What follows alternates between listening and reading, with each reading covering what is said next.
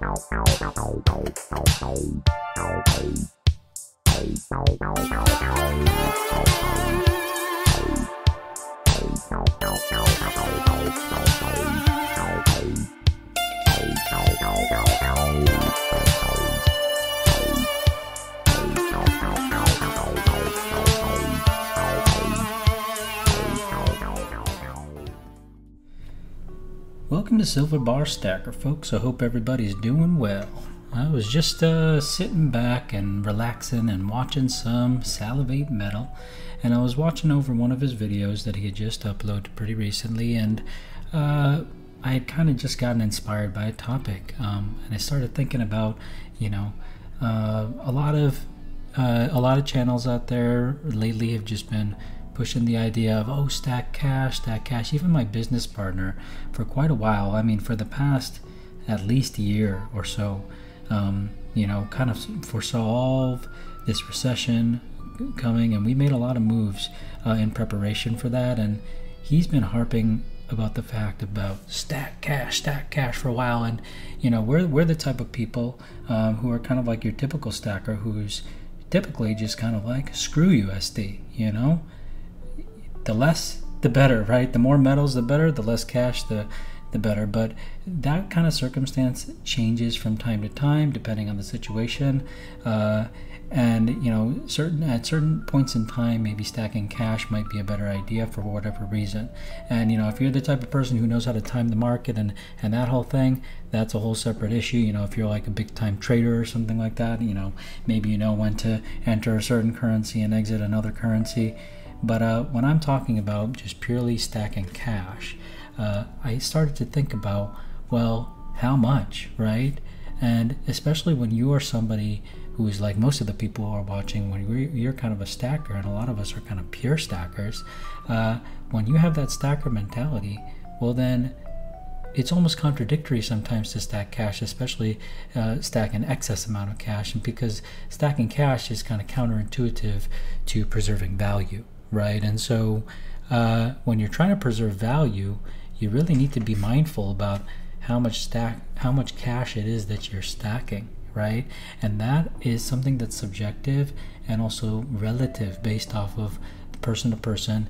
Uh, not not just based off of risk tolerance, but also based off of personal situation, personal financial situation, uh, support situation, and really what it comes down to, in my opinion, right, and this is just my opinion, is there are essentials in life, right, that need to be accounted for, uh, and the more uh, reasonable you are with those requirements in life, uh, the more value you will be able to preserve, right? And so these the, the requirements that I always harp on are roof over your head, food on the table, bills paid. So those are your three essentials, right? And so if those three things are taken care of, uh, and if you're stingy, right, you can take care of those things as as cheaply as possible, right? That's what a pure stacker would do, right? And once you've kind of uh, reduced all of your liabilities and eliminated all of that excess, right, outside of those three requirements roof overhead, food on table, bills paid, right? That means no debt, right?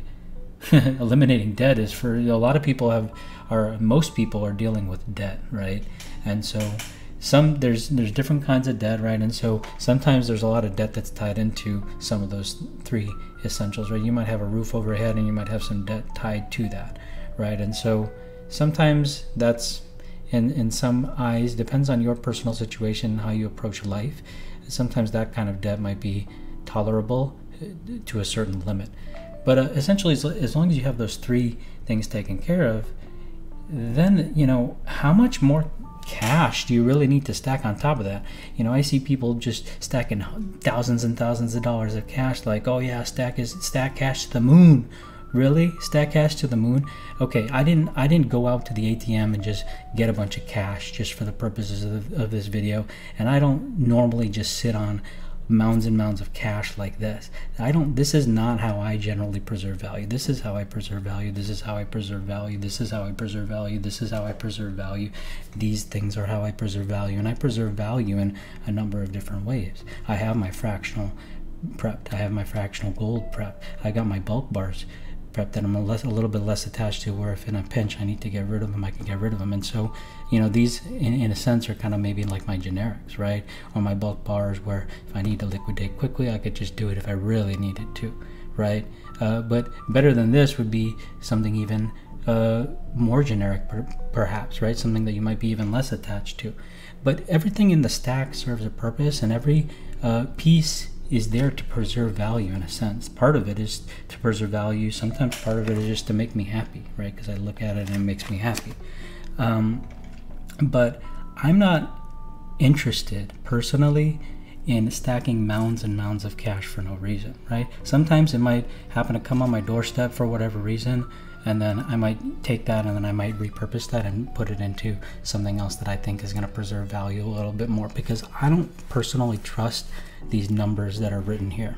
I don't trust the numbers here. I trust when I put this on my Sigma uh, and it verifies it as pure. I trust that. I trust the purity of this uh, brick right here. But I don't necessarily trust these numbers here because these numbers are constantly manipulated. There's Sometimes there's a million of these, but sometimes there's a billion of these being circulated and printed.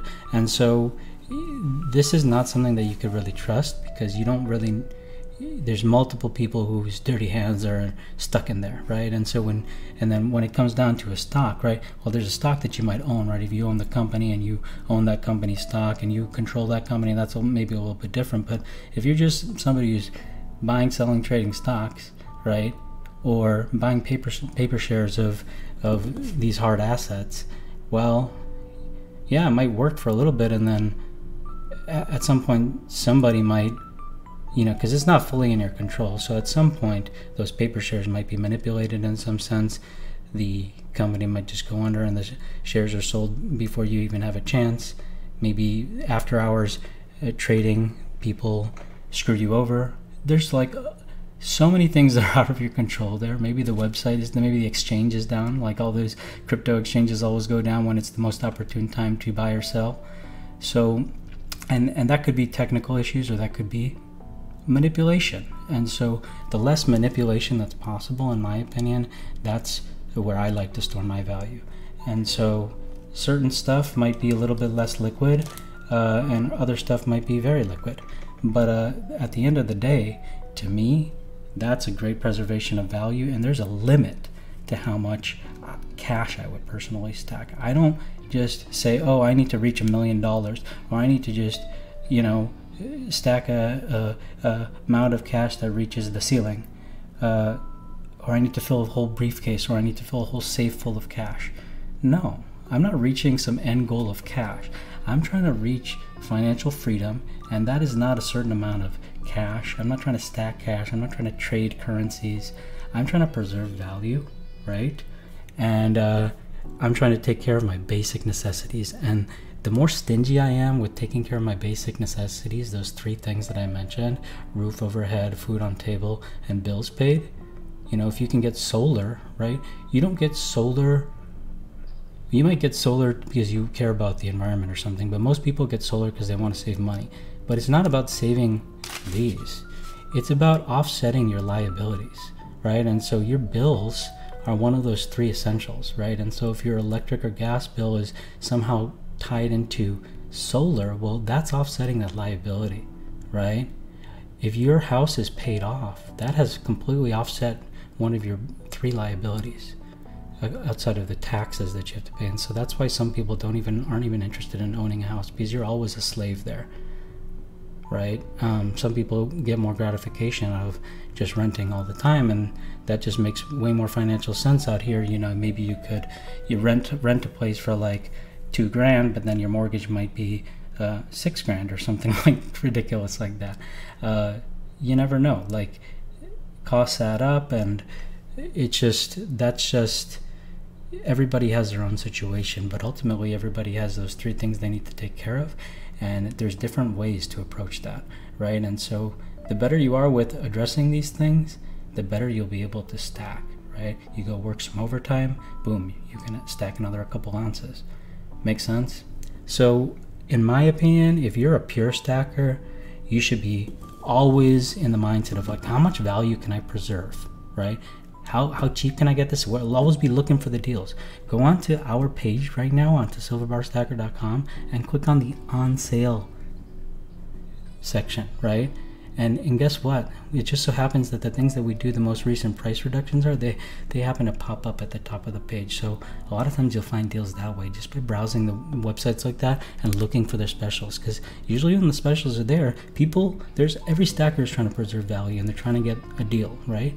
So you got to be there at the ready, right? And and preserve that value and be very mindful about how much of these risky um, paper stocks and paper shares and paper money that you are trying to stack because this stuff, you know, it works until it doesn't. That's all I gotta say. Cheers.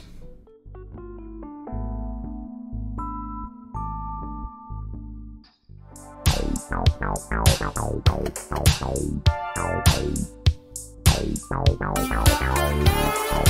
you.